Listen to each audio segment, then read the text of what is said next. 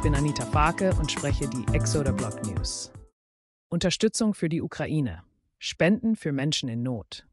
Unterstützung durch Spenden. Solidarität für die Ukraine. Unterstützung durch Spenden. Solidarität für die Ukraine. In der Ukraine, die sich in essentiellen politischen Umbrüchen und anhaltenden Konflikten befindet, sind Spenden für viele Menschen lebensnotwendig geworden. Die Spenden tragen dazu bei, die lebensnotwendigen Grundlagen zu sichern und elementare Menschenrechte zu gewährleisten. Die Ukraine, eines der ärmsten Länder Europas, leidet unter einer Vielzahl von Herausforderungen, sowohl politischen als auch gesellschaftlichen. Die Menschen benötigen finanzielle Unterstützung für Nahrung, Medizin, Bildung und den Wiederaufbau ihrer zerstörten Häuser. Sie benötigen dringend humanitäre Hilfe. Spenden. Ein Lichtblick in der Krise. Spendenkampagnen weltweit und Organisationen wie die Deutsche Welthungerhilfe, das Internationale Rote Kreuz oder UNICEF leisten enorme Unterstützung. Die Spenden dieser Organisationen tragen dazu bei, die dringendsten Bedürfnisse der Menschen in der Ukraine zu decken und ihnen neue Hoffnung zu geben.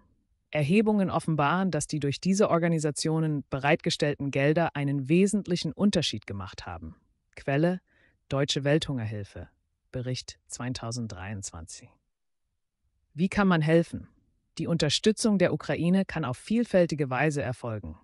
Durch Geldspenden oder Sackspenden, durch die Teilnahme an Benefizveranstaltungen oder durch ehrenamtliche Arbeit. Es gibt viele Organisationen, die dazu beitragen, die Situation in der Ukraine zu verbessern und die Menschenrechte dort zu schützen. Diese Organisationen bieten verschiedenste Möglichkeiten für jeden, der helfen möchte. Quelle UNICEF, Bericht 22. Fazit. Die Unterstützung der Ukraine durch Spenden ist von entscheidender Bedeutung für das Wohlergehen der Menschen dort. Obwohl die Lage schwierig ist, tragen Spenden dazu bei, Hoffnung zu erwecken und einen positiven Wandel herbeizuführen. Jeder, der dazu beitragen kann, wird dringend gebeten, dies zu tun, um den Menschen in der Ukraine zu helfen, ein besseres Leben zu führen.